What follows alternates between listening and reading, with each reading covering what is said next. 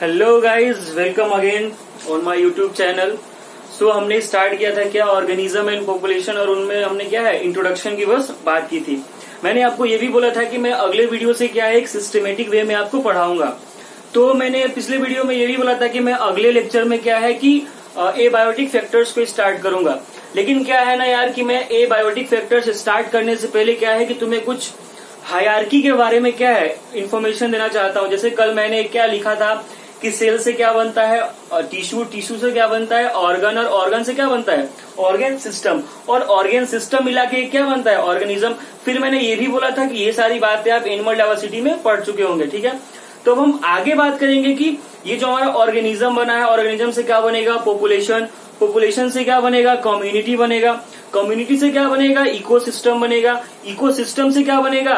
Biomes बनेगा। और biome से फाइनली क्या बनेगा हमारा? बायोस्फीयर तो क्या है कि आज हम इसके बारे में थोड़ा सा क्लू लेंगे कि ये सब टर्म्स क्या क्या है। फिर हम बात करेंगे किसके बारे में कुछ टर्म्स हैं। इकोलॉजिकल कुछ टर्म्स है, जैसे कि आपने सुना होगा biotic potential ecotone species endemic species ठीक है? और क्रिटिकल लिंक स्पीसीज वगैरह, ये सब जो है इकोटोन ये जो वर्ड्स है, इनके बारे में हम आज स्टडी करेंगे। और हमारा जो नेक्स्ट वीडियो आएगा, उसमें हम बात किसके बारे में कर रहे होंगे? एबायोटिक फैक्टर्स के बारे में। तो चलिए शुरू करते हैं। मैंने क्या बोला था कि क्या है? सेल बोला था। सेल से क्या बना रहा था मैं? टिश्यू। टिश्यू से क्या बना रहा था मैं? ऑर्गन। ऑर्गन से क्या बना रहा था? Organ system. फिर ऑर्गेन सिस्टम से क्या बनता है? ऑर्गेनिज्म। फिर ऑर्गेनिज्म से क्या बन रहा है? पॉपुलेशन पॉपुलेशन से क्या बन रहा है हमारा? कम्युनिटी कम्युनिटी से क्या बन रहा है हमारा? इको सिस्टम इको सिस्टम से क्या बन रहा है हमारा? बायोम्स और बायोम से फाइनली हमारा क्या बनता है? बायो स्पेयर तो कुछ ऐसे हायरकी चलता है क्या? पहले सेल फिर टिश्यू ऑर्गन ऐसे करके कहाँ तक आता है? बायोस्फीयर तक. ये जो हमारे चैप्टर का नाम है वो क्या है? कम्युनिटी ये सॉरी ऑर्गेनिज्म एंड पॉपुलेशन क्या है? ऑर्गेनिज्म एंड पॉपुलेशन इस चैप्टर में स्पेसिफिक इस चैप्टर में हम किसके बारे में बात कर रहे होंगे? पॉपुलेशन और ऑर्गेनिज्म के बारे में। लेकिन मैं इस वीडियो में आपको क्या बताने वाला हूँ? मैं बात करूँगा थोड़ा सा कम्युनिटी के बारे में और कुछ बात करूँगा जो कुछ टर्म्स है जिसका मैंने नाम लिया था, ठीक है? तो ये आप लिख लेंगे।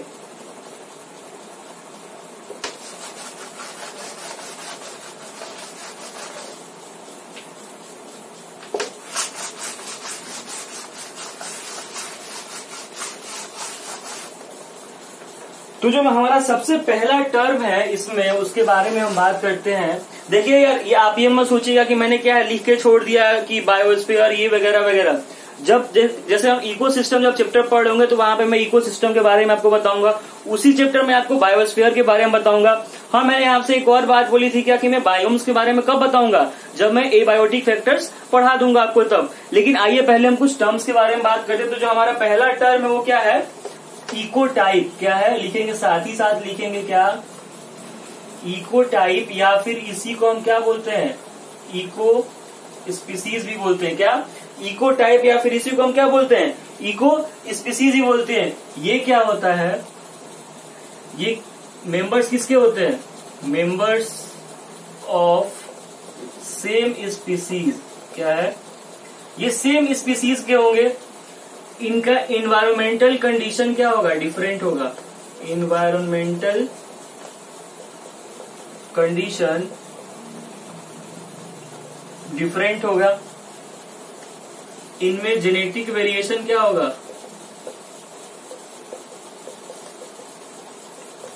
प्रेजेंट होगा. क्या लिखा मैंने कि मेंबर्स ऑफ़ सेम स्पीसीज होंगे? इन्वायरमेंटल कंडीशन डिफरेंट होगा जेनेटिक वेरिएशन प्रेजेंट होगा. मैं इसको अभी एग्जांपल देके समझाता हूँ आपको. ठीक।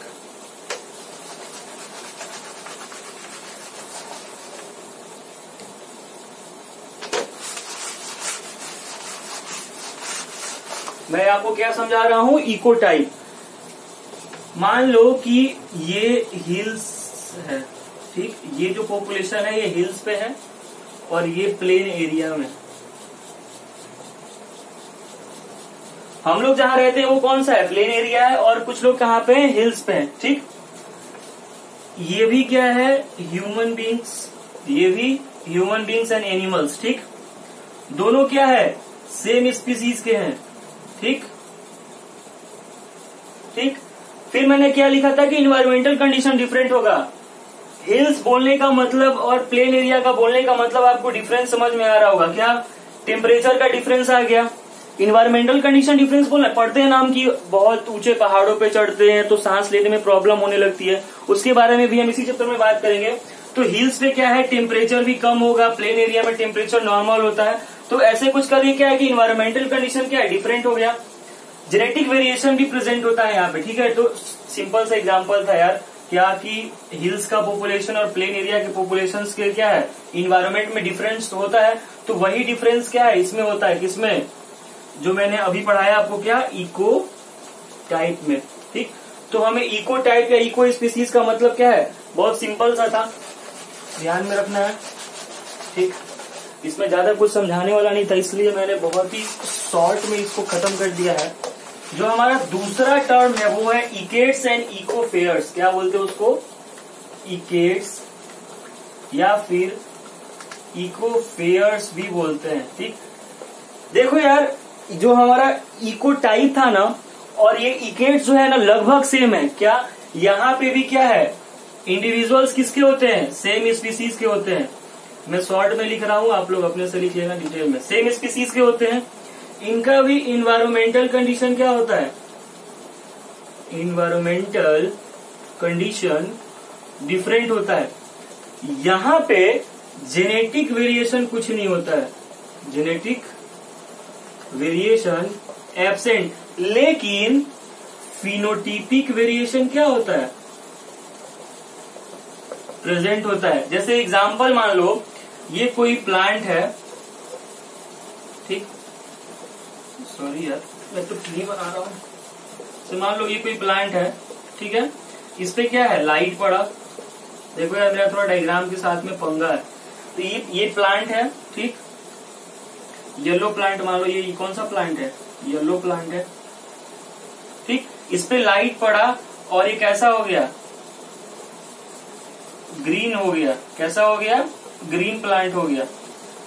देखो प्लांट वही है कोई भी जेनोटिपिक डिफरेंस नहीं आया है लेकिन देखो जीनोटिपिक डिफरेंस क्या होता है कि हमें बाहर से नहीं दिख सकता लेकिन फिनोटिपिक क्या है? फिनोटाइप का मतलब क्या आता है कि फिनोटिपिक करेक्टर वो करेक्टर होता है जो कि हमारे नेकेड आई से क्या है? विजिबल होता है। तो देखो यार, ये येलो प्लांट था, लेकिन इस पर लाइट पड़ा तो कौन सा प्लांट हो गया ये? ग्रीन प्लांट हो गया। मतलब क्या है कि यहाँ पे बस फिनोटाइप में चेंज हो रहा है। पहले येलो दिखता था, अब क्या दिख रहा है? ग्रीन दिख रहा है। लेकिन प्लांट क्या है? सेम है तो कोई जेनेटिक डिफरेंस नहीं आएगा। तो यही हमारा क्या था? इकेट्स ठीक? आगे बढ़ते हैं।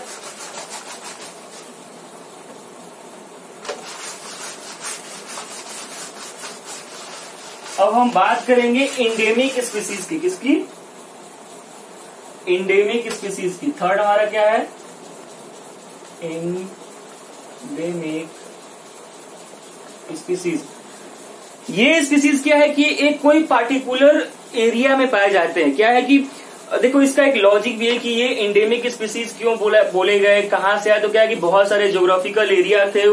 क्या है कि मान लो कि ये कोई ज्योग्राफिकल एरिया था, ठीक है? तो क्या हुआ कि ये ब्रेक हो गया ब्रेक हो गया कोई किधर चला गया, कोई किधर चला गया, और जाके क्या है अलग अलग क्या है? कॉन्टिनेंट वगैरह बन गए। तो क्या है कि यहाँ पे जो जो एक साथ ऑर्गेनिजम्स रह रहे थे, जब ब्रेक डाउन हुआ तो क्या हो गया? दूसरे दूसरे कॉन्टिनेंट में चले गए। और दूसरे दूसरे जगह पे जाके क्या है? वो उस पार्टिकुलर एरिया में ही पाए जाते जैसे एग्ज़ाम्पल के तौर पे अगर हम ले क्या, कि कंगारू। कंगारू क्या है? ऑस्ट्रेलिया में ही तो पाया जाता है यार मेनली इंडेमिक स्पीसीज क्या होते हैं कि found in a particular area क्या found in particular area problem क्या है इंडेमिक स्पीसीज का है कि इनका नंबर बहुत कम है, क्या है? नंबर इनका क्या है? Less in number less in number और इनका जो एक्सटिंक्शन का चांस है जो इनका एक्सटिंक्शन का चांस है ना, वो क्या है? बढ़ता जा रहा है। क्या है कि यार, हमारा जो इन्वायरमेंट है, वो क्या है? बहुत ही बुरी तरीके से चेंज हो रहा है, जो कि क्या है, ना तो हमारे लिए फेवरेबल है, ना ही जो एनिमल्स है, उनके लिए फेवरेबल है। तो जो ये कंगारू रैट है, किस, कहाँ पाया जाता है? ऑस्ट्रेलिया में। और ये क्या है? इंडेमिक स्पीसीज इंडेमिक स्पीसीज क्यों बोला गया? क्योंकि ये किसी एक पार्टिकुलर क्या है, जगह पे ही पाए जाते हैं, ठीक? कहाँ पे? ऑस्ट्रेलिया में। और क्या है कि इनका नंबर क्या है? बहुत कम है और इनके चांस ऑफ़ एक्सटिंक्शन क्या है? बहुत ज़्यादा। एक्सटिंक्स मतलब क्या? लुप्त होना। ठीक? ये था हमारा क्या? इंडेमिक स्पीसीज देखो यार, बहुत सिंपल सिंपल टर्म्स है। बस इनके बारे में हमें पता होना चाहिए क्या रटना नहीं है।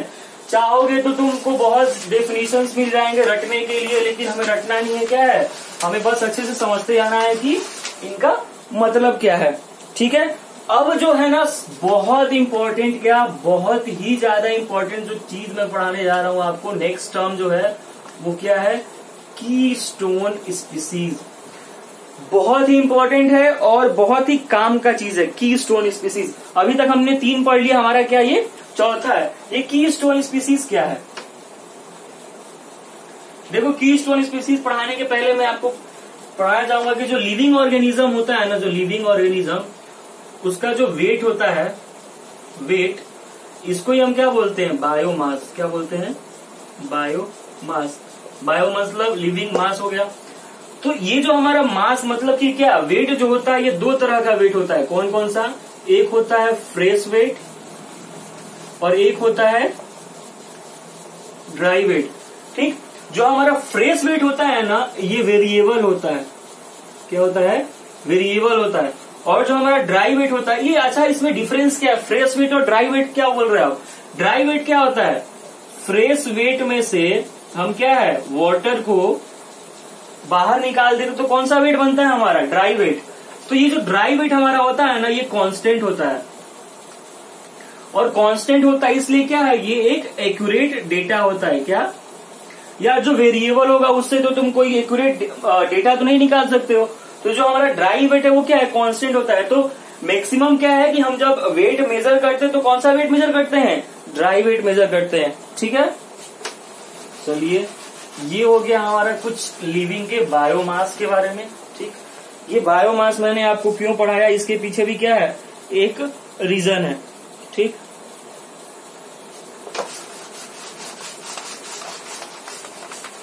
देखो यार, हमारा जो वर्ड है ना क्या है कि ये क्या है? की स्टोन स्पीसीज की का मतलब ही क्या होता है? मेन क्या होता है? मेन तो हमारा जो इकोसिस्टम है, हमारा जो इकोसिस्टम है, उसमें क्या है कि कोई ना कोई ऐसा ऑर्गेनिज्म होगा जो कि क्या है? मेन रोल प्ले करता होगा. मेन रोल प्ले करता होगा. जैसे मैं आपको एक एग्जांपल से समझाता हूँ। जैसे सबको तो पता ही हो गया हार्बीवोरस कार्निवोरस और ओमनी ओमनीवोरस वगैरह ठीक? क्या है कि प्लांट्स क्या है? प्लांट्स से ही हमें भी खाना मिलता है और एनिमल्स को भी खाना मिलता है। तो मान लो क्या था? ये कोई प्लांट है, ठीक? अगर आपको नहीं दिख रहा हो तो मैं यहाँ बनाऊँगा। मान लो क्या है? ये कोई प्लांट था, ठीक? इसको किसने खाया? डियर ने। ठीक? फिर इसको किसने खाया? लायन ने खाया, ठीक? मान लो कुछ देर के लिए क्या मान लेते हैं कि यहाँ जो जो एरिया है, जो इन्वायरमेंट है, वहाँ पे लायन नहीं है। क्या नहीं है? लायन नहीं है। कुछ देर के लिए हम क्या है, मान ले रहे हैं कि ये जो एरिया है, यहाँ पे कोई क्या है की स्टोन स्पीसीज नहीं है। होगा क्या? मान लो यहाँ पे क्या है? मान लो ये ग्रास ही ठीक? तो क्या है कि ग्रास है और डियर है। डियर क्या है? खा रहे हैं रिप्रोडक्शन कर रहे कर रहे होंगे, अपने नंबर बढ़ा रहे होंगे। लेकिन क्या है कि डियर्स का क्या है? नंबर बढ़ रहा है इंक्रीज हो रहा है। क्या इनका नंबर लेकिन ये जो एरिया था वो एरिया तो कांस्टेंट ही है ना यार। एरिया तो चेंज नहीं हो रहा। उस एरिया में जो ग्रास निकल रहे थे उसी वैसे ही निकलेंगे। एरिया अगर बढ़ेगा तब तो नंबर ग्रास का अमाउंट भी बढ़ेगा। लेकिन क्या है कि एरिया वही है। लेकिन क्या है डियर्स का नंबर क्या है? बढ़ रहा है। प्रॉब्लम कहाँ पे आ, आ जाएगी? कि जब जैसे ज़्यादा डियर हो जाएँगे तो क्या होगा हमारा? कि ग्रास क्या है? कम पड़ जाएगा इनको खाने के लिए। फिर इनके बीच में क्या होने लगेगा? कंपटीशन होने लगेगा। क्या होने लगेगा? कंपटीशन होने लगेगा। ये लोग आपस में मारपीट करने लगेंगे किस चीज़ के लिए? मुझे घास खाना है, मुझे घास खाना है, ऐसे मारपीट करने लगेंगे, ठीक? तो क्या है, इसी मारपीट को, इसी कंपटीशन को क्या है? बचाने के लिए हमारे क्या है इन्वायरमेंट में कुछ की स्टोन स्पीसीज रखे हुए हैं। वो की स्टोन स्पीसीज इस एग्ज़ाम्पल में कौन सा है? लायन ठीक? ऐसा नहीं है कि बस यही एग्ज़ाम्पल होता है फ़िश का भी एग्ज़ाम्पल ले सकते हो, ठीक? तो मैं यहाँ पे लायन का ये फ़ेमस एग्ज़ाम्पल इसलिए मैंने लिया है। तो क्या है डियर किस डियर को कौन खाता है? लायन खाता है। तो क्या है कि अगर मान लो कि बहुत प्लांट को कौन खा रहा है? डियर डियर कौन खा रहा है? लायन तो क्या है कि ऐसे मेंटेन रहेगा। मान लो कि लायन नहीं था तो क्या था? नंबर ऑफ़ डियर क्या था? ज़्यादा था। ज़्यादा था तो उनके लिए क्या है? कंपटीशन हो रहा था किस चीज़ के लिए? ग्रास को खाने के लिए। लेकिन अगर इसी इसी इन्वायरमेंट में क्या एक लायन भी है, जो कि क्या है? की स्टोन स्पीसीज क्या है? की स्टोन स्पीसीज है। तो ये क्या है? डियर को खाएगा तो उसके वजह से क्या होगा? कि डियर का पॉपुलेशन क्या है? मेंटेन रहेगा। और जब डियर का पॉपुलेशन मेंटेन रहेगा तो क्या है? घास के लिए कंपटीशन नहीं होगा। तो यही था किसका एग्ज़ाम्पल की स्टोन स्पीसीज का एग्ज़ाम्पल तो आपको समझ में आ रहा होगा कि की स्टोन स्पीसीज क्या है। इतना ज़रूरी क्यों है? ठीक?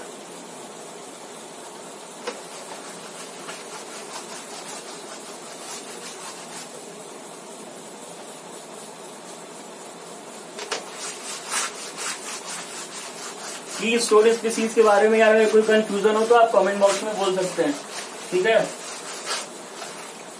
नेक्स्ट जो हमारा वर्ड है वो क्या है? क्रिटिकल लिंक स्पीसीज क्या है? पांचवा क्या है? क्रिटिकल लिंक स्पीसीज ये क्या करता है? लिंक यार वर्ड ही क्या है? लिंक कनेक्शन ठीक? ये क्या करता है? मान लो कि ये कोई लिविंग ऑर्गेनिज्म है। ये कोई मान लो ये भी लिविंग ऑर्गेनिज्म है, या फिर नॉन लिविंग है ठीक दूसरे को क्या करता है ये? कनेक्ट करता है। और इसी को हम क्या बोलते हैं? Critical species critical link species देखो, एक कोई लिविंग ऑर्गेनिज्म है, एक कोई लिविंग है या फिर नॉन लिविंग है तो ये दोनों को जो कनेक्ट कर रहा है, उसी को हम क्या बोलते हैं? क्रिटिकल स्पीसीज और ये जो क्रिटिकल लिंक स्पीसीज होता है, ये क्या होता है? लिविंग होता है, ठीक है? ये नॉन लिविंग नहीं हो सकता है। क्या बोल रहा हूँ मैं? कि एक लिविंग को दूसरे लिविंग से या फिर एक नॉन लिविंग से कनेक्ट करने वाला जो स्पीसीज होता है, उसको हम क्या बोलते हैं? क्रिटिकल लिंक स्पीसीज और वो क्या होता है? लिविंग होता है. मैं आपको एग्ज़ाम्पल देके समझाता हूँ। एक्चुअली क्या है यार, बोर्ड का प्रॉब्लम इसलिए मैं बार बार मिटा रहा हूँ, ठीक है? तो आप लोग अगर डिस्टर्ब हो रहे होंगे तो उसके लिए सॉरी ठीक, मैं एग्ज़ाम्पल देता हूँ आपको। जैसे मान लो कि ये कोई प्लांट है। ट्री है। ठीक लाइट पड़ रहा है। ठीक क्या हो रहा है? लाइट पड़ रहा है। ठीक। फिर पंजाई और ये क्या है? या फिर यहाँ पे क्या मान लो? मिनरल मान लो। क्या है यार ये फंगस क्या कौन सा काम कर रहा है? ये फंगस कौन सा काम कर रहा है? कि एक लिविंग को दूसरे लिविंग से या फिर नॉन लिविंग से क्या कर रहा है? जोड़ रहा है ना? फंगस क्या कर रहा है कि सोइल से क्या लेगा? मिनरल्स लेके किसको देगा? प्लांट्स को देगा। मतलब क्या है कि ये किस चीज़ का काम कर रहा है? लिंक का काम कर रहा है। किस चीज़ के लिंक का काम कर रहा है कि यहाँ से जो है ट्रांसपोर्ट क्या चीज़ कर रहा है? प्लांट को कर रहा है। तो ये जो हमारा फंगस है, ये क्या है? लिंक का काम करेगा। ऐसे क्या है कि फ़ेमस एग्ज़ाम्पल आपने क्या है? माइको राइजा सुना होगा। माइको राइजा ठीक? तो ये माइको में माइको का मतलब क्या है? फंगस और राइजा का मतलब क्या होता है? रूट तो एग्ज़ाम्पल क्या याद रखेंगे हम इसका? क्रिटिकल लिंक स्पीसीज का माइकोराइजा माइकोराइजा माइको का मतलब क्या होता है? फंगस और राइजा का मतलब रूट क्या करता है कि रूट जो प्लांट का रूट होता है, उसके बीच से क्या है कनेक्शन बनाता है? ठीक है? सोइल के साथ। ठीक? तो ये था हमारा एग्ज़ाम्पल प्रॉब्लम हो अगर तो वीडियो पॉज करके आप बैक जाके भी देख सकते हो। ठीक? ये वीडियो है, इसलिए मैं बार बार रिपीट नहीं कर सकता क्योंकि वीडियो लंबा हो जाएगा। ठीक है? तो ये कुछ टर्म्स थे, अब इन टर्म्स के बाद मैं थोड़ा सा बात करना चाहूँगा आपसे कम्युनिटी के बारे में। ठीक? किसके बारे में? कम्युनिटी के बारे में। देखो ना यार, मैंने तुमसे क्या बोला था कि बहुत सारे ऑर्गेनिज्म मिलकर क्या है? पॉपुलेशन बना रहे मैंने जब लिखा था वर्ड ऑर्गेनिज्म एंड पॉपुलेशन तो वहाँ पे मैंने साफ़ साफ़ लिखा था क्या? कि organism are the members of population फिर मैंने पॉपुलेशन का डेफिनेशन भी आपको क्या दिया था कि group of individuals of same species at a particular place at a particular time उसको मैंने क्या बोला था? पॉपुलेशन बोला था। अब क्या है ना कि बहुत सारे डिफरेंट स्पीसीज के पॉपुलेशन मिलकर क्या बनाते हैं? कम्युनिटी क्या? डिफरेंट स्पीसीज के पॉपुलेशन ठीक? डिफरेंट स्पीसीज के पॉपुलेशन मिलकर क्या बनाते हैं? कम्युनिटी बनाते क्या? डिफरेंट स्पीसीज के पॉपुलेशन मिलके क्या बनाते हैं? मान लो कि ये ए पॉपुलेशन है, ये बी पॉपुलेशन है और ये सी पॉपुलेशन है। मान लो ये जो ए पॉपुलेशन है, ये प्लांट का है, ये जो बी पॉपुलेशन है, ये एनिमल का है और ये जो सी पॉपुलेशन है, ठीक? ये किसका है? माइक्रोब्स का है, ठीक? तो ये तीनों मिलके क्या है? ये तीनों मिलके यहाँ पे ए बी सी ये जो तीनों मिलके जो बनाएँगे, वो क्या होगा? कम्युनिटी होगा। ये क्या हो गया? कम्युनिटी हो गया। क्या? कि यहाँ पे क्या क्या थे प्लांट था एनिमल था माइक्रोब्स था। और ये जो कम्युनिटी है, इसको हम क्या बोलेंगे? बायोटिक कम्युनिटी ठीक? तो मैं हल्का सा आपको बस आइडिया दे रहा हूँ, किसका? कम्युनिटी का क्या? कि बहुत सारे डिफरेंट ग्रुप ऑफ़ स्पीसीज मिलके जैसे प्लांट क्या है, एक अलग स्पीसीज का इंडिविजुअल का पॉपुलेशन है एनिमल क्या है, अलग स्पीसीज का और माइक्रोब्स क्या है, अलग स्पीसीज का है, ठीक है? तो ये अलग अलग स्पीसीज का पॉपुलेशन मिलके क्या बना रहा है कम्युनिटी तो ये हमारा था एग्ज़ाम्पल ठीक? और हम बताते हैं इसके बारे में।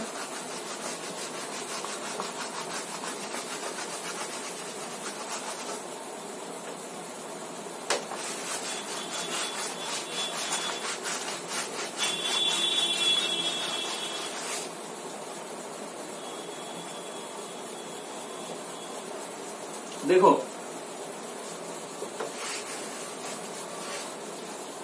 एक मैं वर्ड लिख रहा हूँ। Number sorry diversity directly proportional to number of species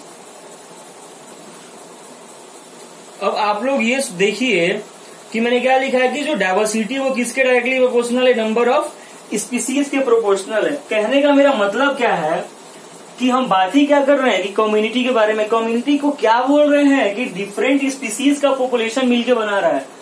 तो वो जो हमारा कम्युनिटी का डाइवर्सिटी होगा, वो ज़ाहिर सी बात है नंबर ऑफ़ स्पीसीज के प्रोपोर्शनल ही होगा। ठीक? यही मैं मतलब बताना चाहता था देखो यार मैंने लिख दिया तो आपको समझ में आ जाना चाहिए क्या कि हम किसकी बात कर रहे हैं? कम्युनिटी की बात कर रहे हैं? अच्छा कम्युनिटी की बात कर रहे हो तो आप हमें ये बताओ कि ये जो हमारा कम्युनिटी है, इसका डाइवर्सिटी किसके प्रोपोर्शनल होगा? तो क्या बोलेंगे कि जितना ज़्यादा नंबर ऑफ़ स्पीसीज होंगे, उतना ज़्यादा क्या है? कम्युनिटी का क्या होगा? हमारा डाइवर्सिटी होगा। अब बात करते हैं कि ये जो हमारा कम्युनिटी है, इसको कौन कौन से फैक्टर्स अफेक्ट करते हैं? मतलब डाइवर्सिटी को कौन कम्युनिटी के डाइवर्सिटी को कौन कौन से फैक्टर अफेक्ट करते हैं? सबसे पहला फैक्टर हम क्या ले रहे हैं? जैसे मान लो ये हमारा क्या है? अर्थ ऐसे कुछ इक्वेटर शायद बोलते हैं इक्वेटर इससे दूर जाते तो क्या होता है? इसे क्या दो वर्ड होता है ना? लैटीट्यूड और लॉन्गिट्यूड लैटीट्यूड और लॉन्गिट्यूड देखो यार जैसे जैसे हम इक्वेटर से दूर जाएँगे, वैसे क्या होगा? टेम्परेचर कम होगा? जैसे जैसे टेम्परेचर कम होगा ना वैसे वैसे क्या है स्पीसीज का पॉपुलेशन भी क्या होगा? कम होगा। और स्पीसीज का पॉपुलेशन कम होगा मतलब क्या है कि डाइवर्सिटी हमारी क्या हो जाएगी? घटेगी। तो क्या है कि as we move away from equator क्या होगा हमारा? टेम्परेचर डिक्रीज करेगा टेम्परेचर डिक्रीज करेगा तो क्या होगा? पॉपुलेशन कम होगा। मैं डायरेक्ट पॉपुलेशन बोल रहा हूँ, आप ये समझ आना है कि डिफरेंट स्पीसीज के पॉपुलेशन और ये कम होगा तो क्या होगा हमारा? डाइवर्सिटी भी क्या होगा? कम हो जाएगा, ठीक? तो ये था हमारा एक फैक्टर दूसरा फैक्टर अब हम देखते हैं।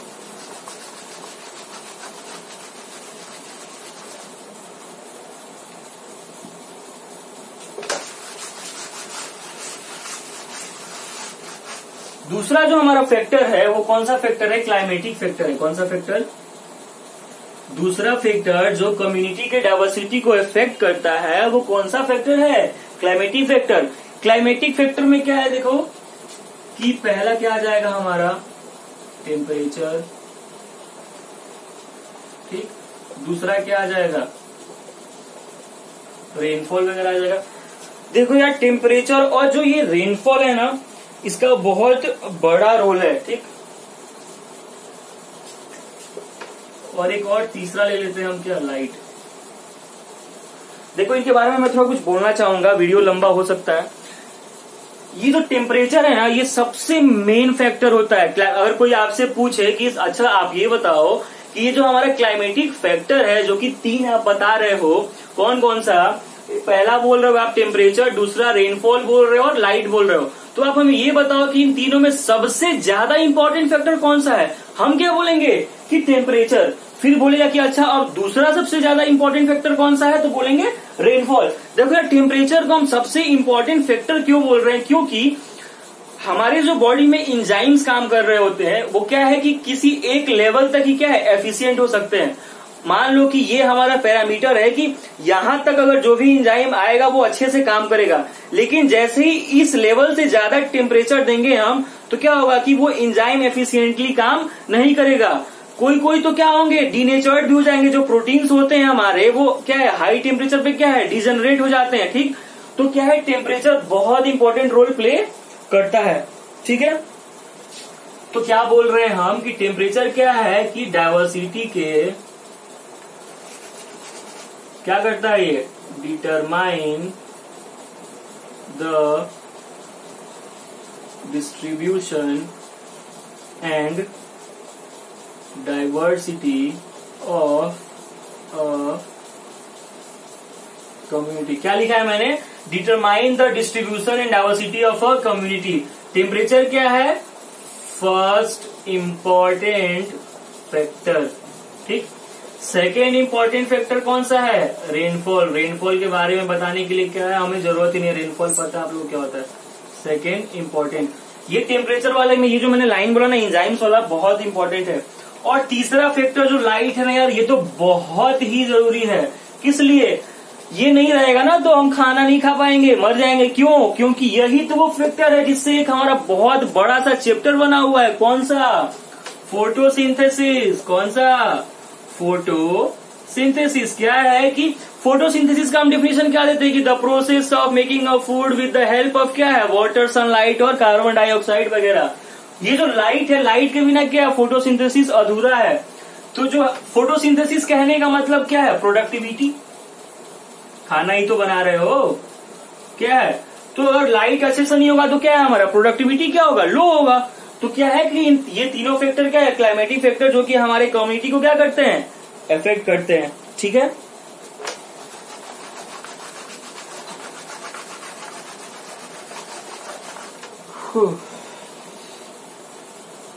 फिर देखो यार। और पाँच मिनट में वीडियो ये खत्म करूँगा मैं। फिर देखो कि क्या पढ़ लिया हमने? क्लाइमेटिक फैक्टर पढ़ लिया। उसमें क्या क्या गया? टेम्परेचर रेनफॉल और लाइट उसके पहले हमने क्या पढ़ा था कि इक्वेटर से दूर जाएँगे तो क्या होगा? तीसरा फैक्टर पढ़ते क्या? कि सॉइल के बारे में। देखो यार सोइल भी बहुत इंपॉर्टेंट रोल प्ले करता है। मान लो कि अगर कोई सोइल फर्टाइल ही नहीं है तो उसका हमें कोई यूज़ ही नहीं है।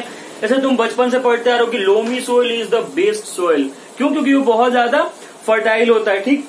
तो सोई भी क्या है? डिटरमाइन करता है किस चीज़ को कि वहाँ के, मान लो कि एक जगह है, एक कम्युनिटी है, उसका जगह है जो, उसका सोइल फर्टाइल ही नहीं है। जब उसका सोइल फर्टाइल ही नहीं रहेगा तो वहाँ पे क्या है? प्लांट्स अच्छे से ग्रो नहीं करेंगे। जब प्लांट अच्छे से ग्रो नहीं करेंगे तो जो वहाँ पे एनिमल्स रह रहे वो क्या अच्छे से खा नहीं पाएँगे? तो क्या है कम्युनिटी डिस्टर्ब होगा ना? तो इसलिए क्या है कि सॉइल भी इंपॉर्टेंट रोल प्ले करता है। जब मैं ये बायोटिक फैक्टर्स पढ़ाऊँगा लाइट टेम्परेचर वाटर वगैरह, वहाँ पे मैं सॉइल के बारे में डिटेल में बात करूँगा, यहाँ पे मैं ज़्यादा बात नहीं कर रहा हूँ इसके बारे में, ठीक है? फिर और इस वीडियो में मैं दो वर्ड्स के बारे में बात करूँगा। कौन कौन से वो दो वर्ड्स हैं? पहला है इकोटोन इको टोन देखो यार, ये जो मैंने वर्ड्स लिखवाया है ना, ये जो टर्म्स लिखवा रहा हूँ ना, ये बहुत ज़रूरी है समझना। ये इको टोन क्या है? ये है ट्रांजिशन जोन बिटवीन कम्युनिटी ये क्या बोल दिया आपने? ट्रांजिशन जोन ये क्या होता है? ट्रांजिशन जोन क्या होता है? एक ऐसा जोन जहाँ पे क्या है?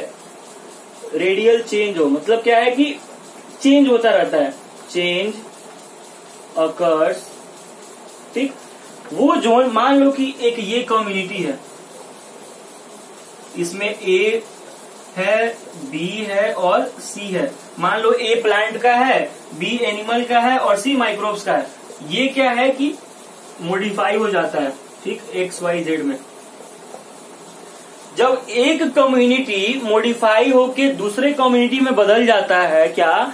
जब एक कम्युनिटी दूसरे कम्युनिटी में मॉडिफाई होके मॉडिफाई होके बदल जाता है, उसी को हम क्या बोलते हैं? इको टोन बोलते हैं। क्या बोलते हैं? इको टोन बोलते हैं। इसका एक और नाम होता है यार, इसको बोलते हैं हम टेंशन जोन कौन सा जोन टेंशन जोन भी बोलते हैं। तो इकोटोन क्या है? Transition zone between two communities एक कम्युनिटी मॉडिफाई होकर दूसरे कम्युनिटी में जब बदलता है, उसी को हम क्या बोलते हैं? इको टोन बोलते हैं। ठीक है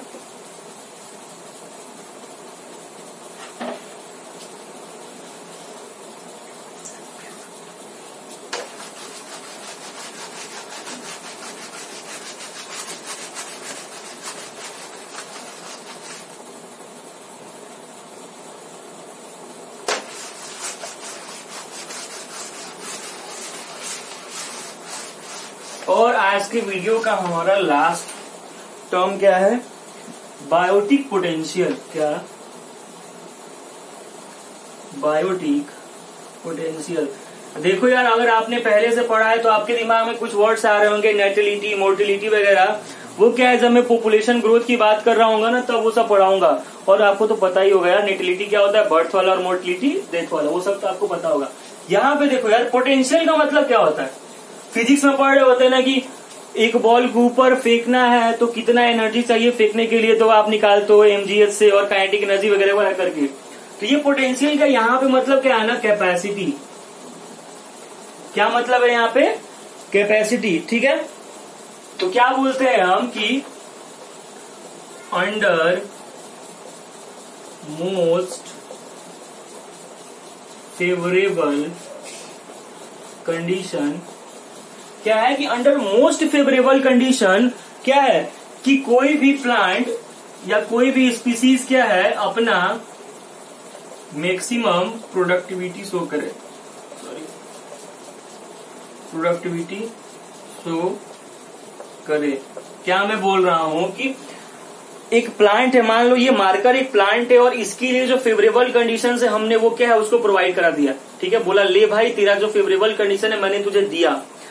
फिर क्या है कि उस फेवरेबल कंडीशन में जो प्रोडक्टिविटी शो करेगा ना ये प्लांट उसी को हम क्या बोलेंगे? बायोटिक पोटेंशियल मतलब कि उसका मैक्सिमम कैपेसिटी कितना है प्रोडक्ट देने का, वही क्या होता है उसका?